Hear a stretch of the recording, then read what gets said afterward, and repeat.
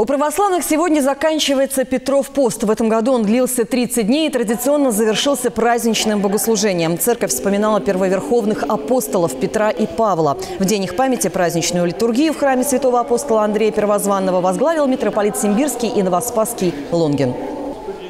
Святых апостолов и Петра, Петра и Павла, их еще именуют первоверховными. А, это связано с тем, что они особенно постарались в деле проповеди Евангелия, являются некими такими столпами, и церковь, так скажем, в знак этого особенно выражает их память. Петр и Павел проповедовали христианство на огромной территории, были наделены целительными дарами, могли разговаривать на всех языках мира и изгонять бесов. По преданию, именно 12 июля святые апостолы приняли мученическую смерть либо в один день, либо с разницей в год.